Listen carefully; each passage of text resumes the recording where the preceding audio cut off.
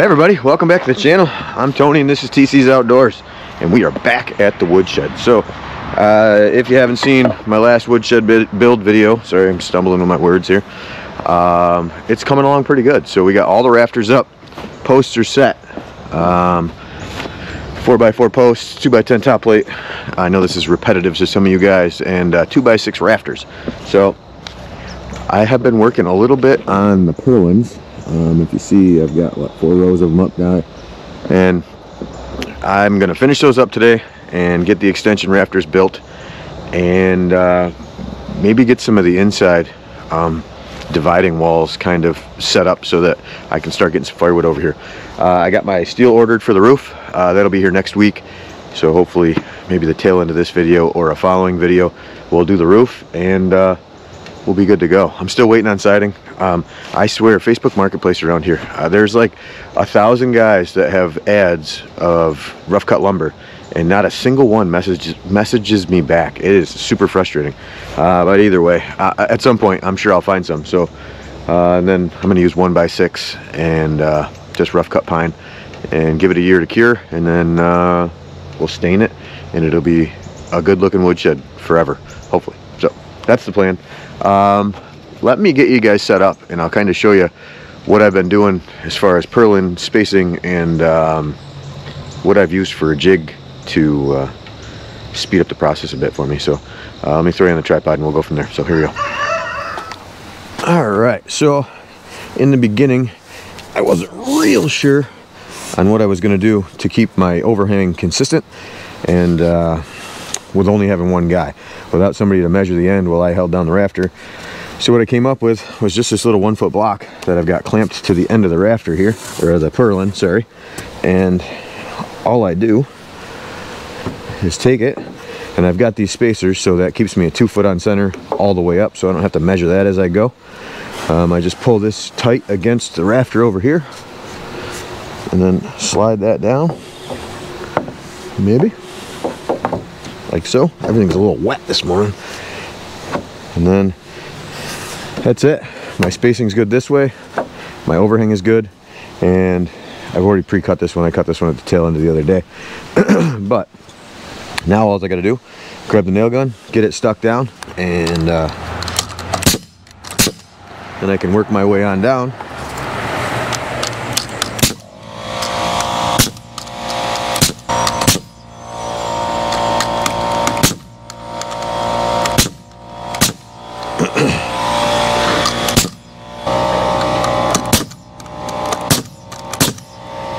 my spacing is two foot on center so now all I need to do is cut this next one down to 12 foot exactly.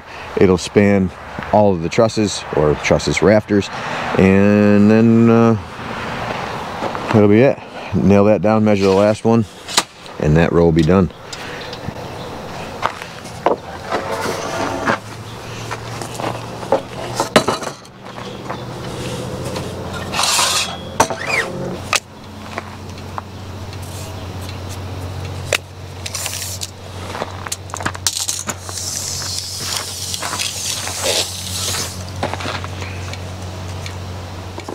Okay, so all I need to do is slide this down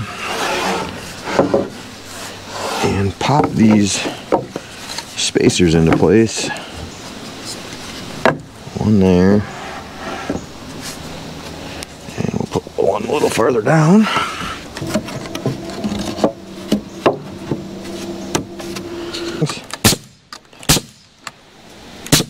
Just got a nailer in place and we're good to go.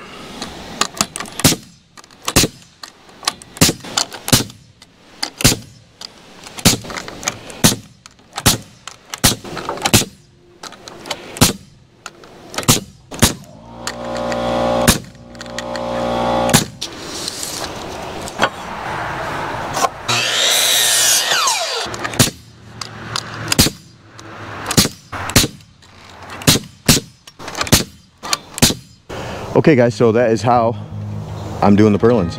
Um, i'm gonna put you guys on time lapse. We're gonna crank the rest of these out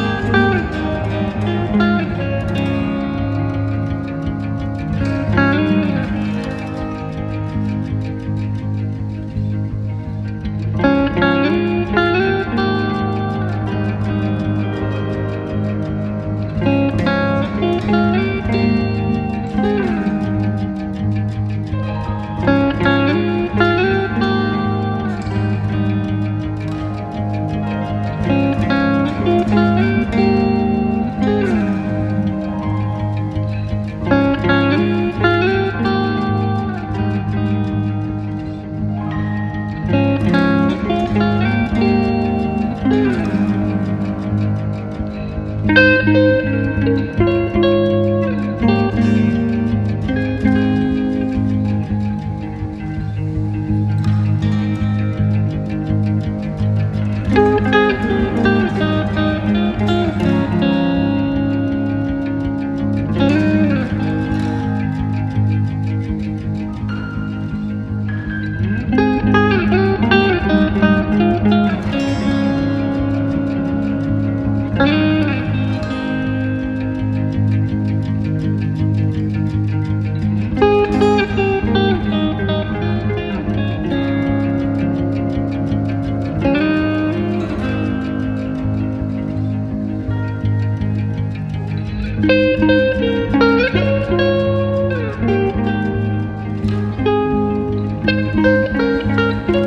Purlins are done. Uh, everything came out pretty good.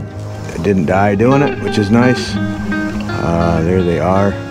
That last couple of rows got a little hairy. Had to climb up on top to do it. Um, but it's okay. I made it.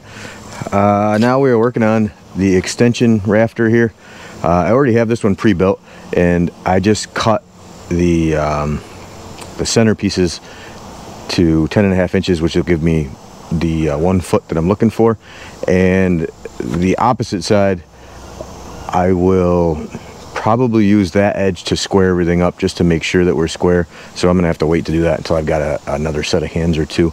But uh, I figured I'd bring it along while I put this one up and we'll see how this goes by myself. It's kind of heavy.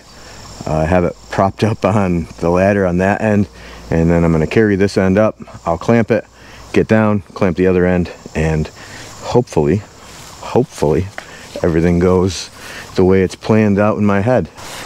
So the nerve-wracking part is how uneven the ground is. And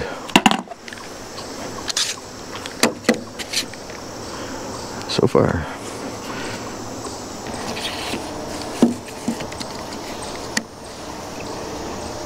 Whoa. And that's what I don't want to do is fall.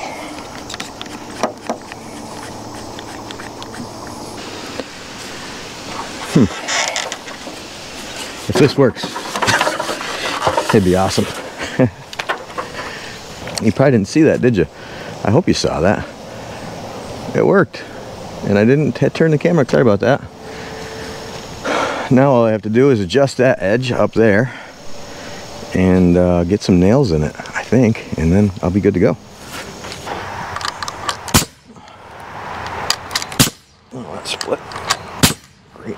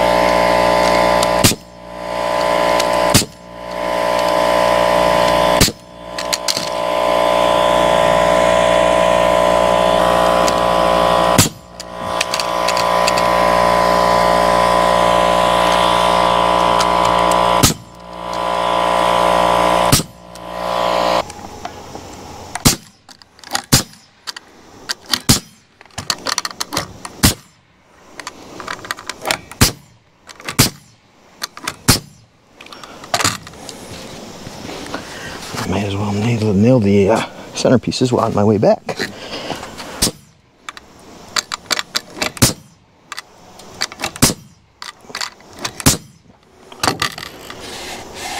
All right, so the uh, that extension jam went on actually a lot better than I thought it would. Um, it's hard to tell probably on the camera, but the ground here is super uneven and it was a little sketchy on that ladder back there, but it's okay. I didn't fall. Everything's good. So came out really well. I'm happy with it. Um, I am going to take off this top plate. It's really not doing anything on the outside. I'm going to spin that around to the inside so when I do the siding on the outside, it's a nice um, smooth finish on the outside. Everything's the same level. Um, so that's next on the agenda along with uh, a dividing wall between these two posts in here. So let me bring it inside if I can do it without my head. So between these two posts right here, I'm going to put a dividing wall and I'm going to stack the wood against this. And then on this side, I'm not exactly sure. This will be for like either totes of bundles or a pallet or two of bundles or something along the lines of that. Maybe the rototiller, a couple other small items that I don't really want to put in the garage, but I don't want sitting out in the weather either. Uh, it's too small for the tractor, which is okay. That wasn't really des the design anyhow, but um, I need to finish this and like I said, but, oh, sorry for the sun. Hold on, let me spin you over here. So if you look down, this extension jam, when I do this, when I left that top purlin long, just in case I need to um, kind of skew this last rafter a little bit, just to square it up so that the tin works out good. Uh, but I need another set of hands for that. I can't square this up by myself, not confidently anyway. So that's not happening right now uh, but at least we got the other one on so that's cool. And uh, I got a soccer game. Actually there's two soccer games. My son and daughter both have soccer games this afternoon so and they're both home luckily which is cool. So uh, I'll split it one half with one and one half with the other. That's the plan. So uh, I'm gonna wrap up today's video. Uh, thanks for coming along. Hopefully you enjoyed it. Uh, if you did hit the like and subscribe. Share it with your friends if you want to. That'd be cool and come on back we got to finish this thing up uh, the steel will be delivered next week and uh, that'll probably be the next video is getting the roof on and hopefully siding. I don't know if any of you guys out there know someplace and you're in my area, someplace I can get some one by sixes like 16 foot pine, uh, rough sawn. That would be awesome. Let me know. Thanks. Have a good day. We'll talk to you later. Bye.